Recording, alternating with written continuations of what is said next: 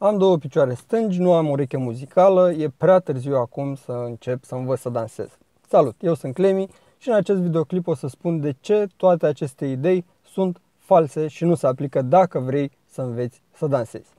Și uh, vreau să spun că și eu am crezut lucrul ăsta la un moment dat și eu eram de părere că pentru a învăța să dansezi trebuie să te naști talentat sau trebuie să începi de mic sau trebuie să ai ureche muzicală să te naști cu urechea muzicală. Altfel, n-ai nicio șansă să înveți să dansezi. Și ideea asta mi-a fost schimbată în uh, perioada liceului, prin clasa 9, a 8 a 9 în perioada liceului, de un fost coleg de bancă, Iulica. Iulica era genul ăsta de persoană care nu avea nicio treabă cu ritmul, nu știa niciun pas de dans, uh, și avea două picioare stângi, să zicem așa. Da? Deci nu avea nicio treabă cu dansul.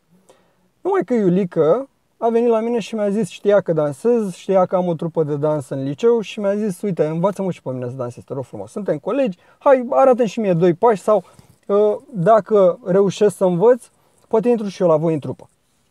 Și am zis, bine, hai să vedem ce poți să faci. La următoarea uh, repetiție a trupei, vino și tu și noi te testăm, că nu pot eu să decid de unul singur așa, vino și tu și vedem. A venit Iulică, l-am testat noi, zero. Din punct de vedere al dansului și al ritmului. Da, anti-talent, anti-dans, anti-ritm.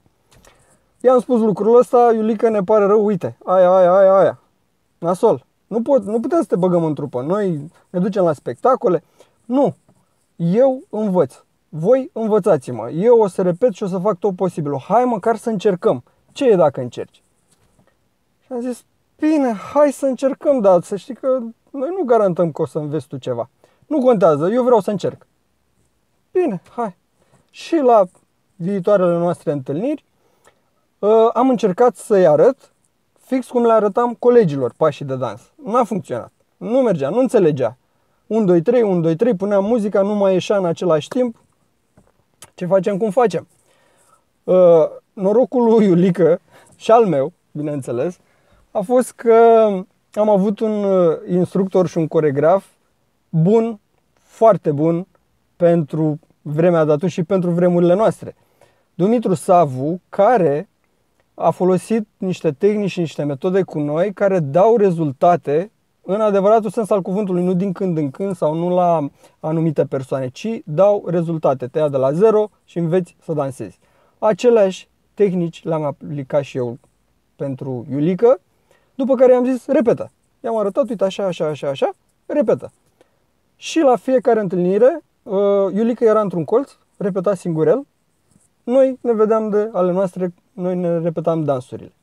Ideea e că într-o lună și jumătate Iulica a învățat ritmul și a învățat și o parte din coregrafie să o facă cum trebuie pe muzică.